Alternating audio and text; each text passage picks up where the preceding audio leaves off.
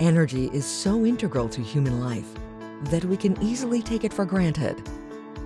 But when crisis strikes, we are reminded of how difficult life is without it and how costly it can become when supplies are scarce. When the stakes are high and energy is at risk, it can cause trade disputes and even trigger war. The International Energy Forum was created three decades ago to bring energy market participants together. Today, it is the world's largest energy organization with 70 members, accounting for 90% of the world's energy market.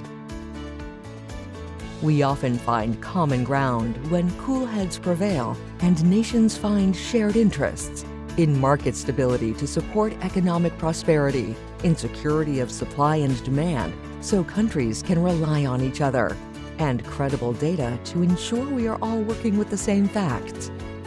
Today, as the world faces the challenge of climate change, our energy system is once again in the spotlight, and the dangers of international division are very real.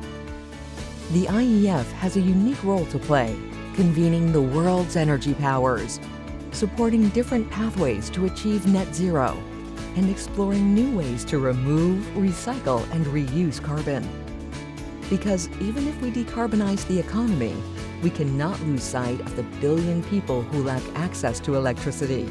And we must continue to invest in the energy systems we rely on today to protect the quality of human life for people everywhere.